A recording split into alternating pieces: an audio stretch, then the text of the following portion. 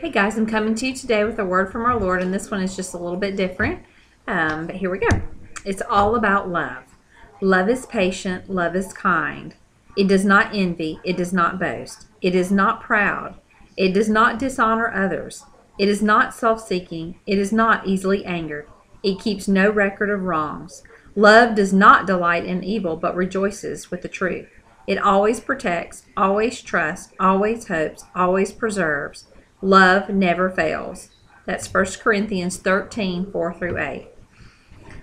Love is an action, love is a choice. God is love. The only way we can come close to loving as the Father does is to choose to love.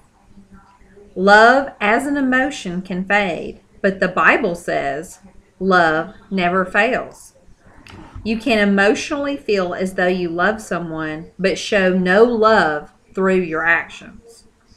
To love your enemies, as the Bible says, is not an emotional response. Just the term enemy means there is disdain, but you are to offer mercy and show love regardless.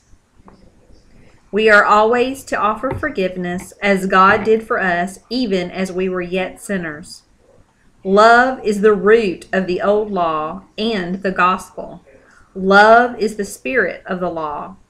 Old law gave Israel rules and regulations, but Jesus revealed in the Sermon on the Mount that the spirit of the law was based on love. I'm going to put the words down below in the description box and the verses that go along with this, guys. So enjoy